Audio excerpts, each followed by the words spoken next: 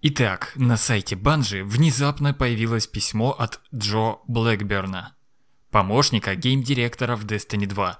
Письмо очень важное, неожиданное и на самом деле затрагивающее самые ключевые проблемы Destiny 2 сейчас. Тут нам и про трансмог, и про новый контент, и про пушечки, и про рейды, все самое сочное и желанное. Но, во-первых, немного занудный, но все же важный момент – кто такой Джо Блэкберн и почему письмо написал он, а не сам Люк Смит. Джо – один из ключевых разработчиков рейд-команды. Он работал в Банже до выхода сезона изобилия, который подарил нам Паноптикум, рейд Корона Скорби и лучшие легендарные пушки и систему их лута. После релиза того сезона Джо по своему желанию покинул студию. Но сейчас он вновь в команде Люка Смита, работает над игрой и, черт возьми, он, как никто другой, знает, как нужно работать над системой наград в этой игре. Поэтому я прям со всей силы скрещиваю пальцы и загадываю, чтобы все получилось. Сезон изобилия второго года Destiny 2 это лучший из всех сезонов, которые вообще были, с интереснейшим эндгеймом и нормальной системой легендарных наград. Итак, что же нам сказал Джо? Он говорит, что на собраниях разработчиков на онлайн-конференциях он всегда задает один и тот же вопрос. Как мы улучшаем каждый сезон для того, чтобы он стал поводом вернуться в Destiny? И это, надо заметить, очень правильный вопрос, потому что сейчас единственная система, заставляющая играть в сезоны, это фома, то есть страх упустить ценный контент. Например, дробовик Ложь Фелвинтера, который вот не получил ты в сезоне Распутина, теперь жди, пока его вернут или не вернут. Об этом, кстати, позже тоже скажу, вернут его. Ограничение силы по сезонам тоже часть этой системы, поскольку таким образом разработчики могут создавать подвижную мету оружия и снаряжения, заставляя искать игроков все более подходящие для игры пушки.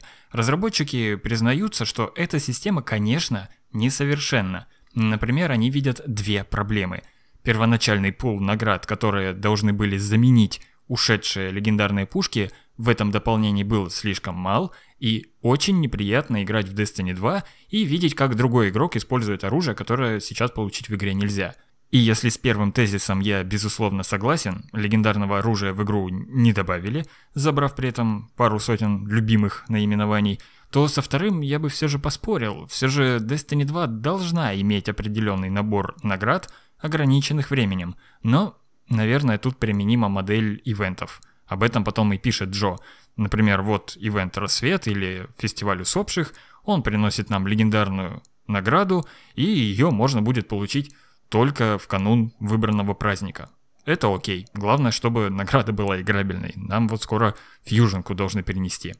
В любом случае, главная претензия от сообщества сейчас в игре не за что бороться. Буквально сегодня я в видео про Железное Знамя говорил, что есть пара мыслей на этот счет. И вот меня опередили ребята из Банжи. С каждым новым сезоном четвертого года Destiny 2 экосистема ограничения силы на оружие будет расширяться. За очень немногими исключениями все оружие, на котором будет ограничение силы, все равно можно будет получить в игре, как, например, сейчас старое ритуальное оружие в киоске угасшего света а в будущих ежегодных аддонах будет больше нового оружия, чем в «За гранью света» или «Обители теней». На это уж надеюсь, но ждать-то еще что, целый год выходит, и остается пока верить на слово. Тут, конечно, боязно, но кроме надежды у нас ничего нет. Дальше Джо пишет, что с последним дополнением студия перестроила всю систему игры с нуля, чтобы в дальнейшем оперативнее добавлять изменения и работать над ошибками. Между тем, 13 сезон начнется всего через пару месяцев, что для разработчиков крайне скоро. Потому Джо делится некоторыми планами. Без громких спойлеров и не раскрывая все карты, конечно, но все же интересно. Во-первых, в 13 сезоне они добавляют 6 новых легендарных видов оружия к плейлистам. По 2 для налетов, для гамбита и для горнила. В дополнение к этому оружию – Сумрачный налет получит три уникальных легендарных оружия – Палиндром, Сворм и Shadow Price. А если вы пройдете налет на сложности Грандмастер, вы сможете заработать адепт версии этого оружия. Полиндром, Сворм и Shadow Price – это оружие из первой части. А кто в нее играл, знает, что, например, Полиндром – это один из лучших легендарных револьверов. Так что, безусловно, возвращение этого оружия – это важный, хоть и небольшой шаг. И я надеюсь, что позже мы увидим как можно больше старого оружия из первой части, которое там лежит без дела, знаете ли. Давайте его сюда уже.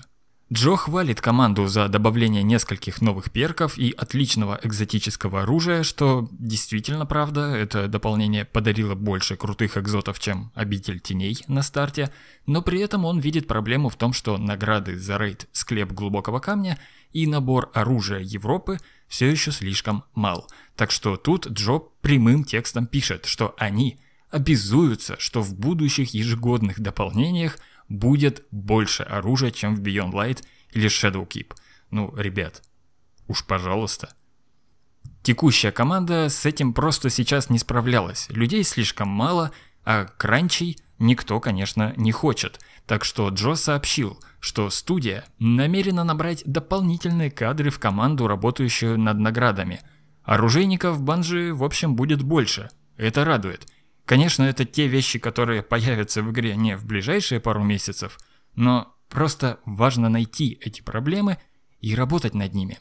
Еще чего многие так ждали, в 13 сезоне студия вернет старое квестовое оружие, такое как ложь Фелвинтера, шепот червя и идеальная эпидемия. Получить эти пушки можно будет в экзотическом киоске в башне. Ну и на сладкое.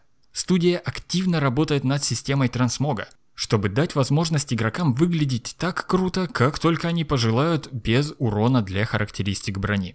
Трансмагрификация в Destiny 2 появится в 14 сезоне, то есть ближе к концу весны, началу лета.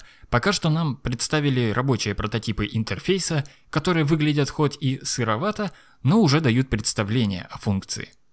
После этого – Тезисно в письме перечислено несколько важных анонсов, таких как защита от DDoS-атак для игроков Destiny 2 на всех консолях в 13 сезоне, Raid Vault of Glass вернется в 2021 году, кроссплей полноценный включат также в 2021 году, два старых налета из первой части вернут, Fallen Saber и Devil Slayer – они оба на космодроме и появятся в 13 сезоне. А также будет усовершенствована ротация легендарных и мастер затерянных секторов. В набор секторов добавят те, что располагаются на Луне, а в пул наград добавят еще три новых экзота. Это все также в 13 сезоне.